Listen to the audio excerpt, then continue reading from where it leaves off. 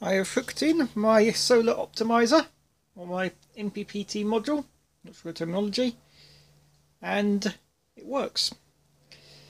To test it under typical conditions I have come out on a very English summer. You might notice the complete lack of shadows because of the near complete lack of sun. It is um, pretty cloudy up there. But it is working. Just to show you how well it's working, this is getting 17 watts. Now, if I bypass this device by inserting this metal object and shorting the right wires,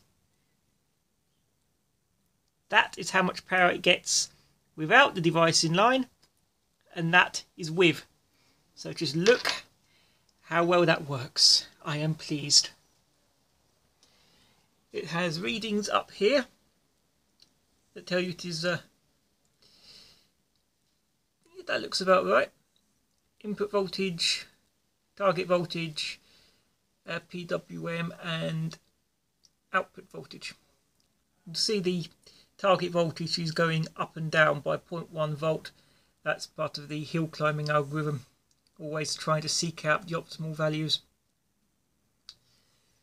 It still needs a little bit of tidying up but it does work one interesting thing I've noticed when the sun comes out, come on sun, right on cue.